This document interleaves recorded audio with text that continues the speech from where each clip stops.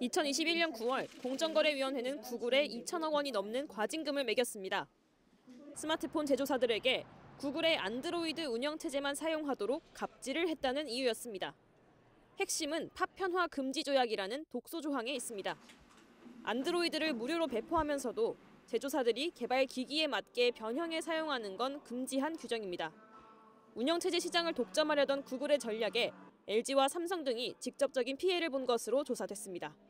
구글은 OS 사업자고 기기 사업자가 아닙니다.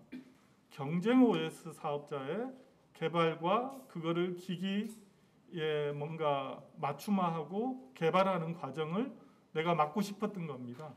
구글은 공정위가 안드로이드 공개로 제조사와 앱 개발자, 소비자가 입은 혜택은 고려하지 않았다며 법원에 소송을 냈습니다.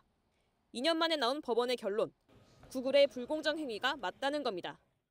법원은 제조사들이 구글 때문에 불이익을 받았다고 봤습니다. 스마트 기기 출시도 방해받고 구글 경쟁사와의 거래도 제한됐다고 설명하며 과징금을 취소해달라는 구글의 청구를 받아들이지 않았습니다.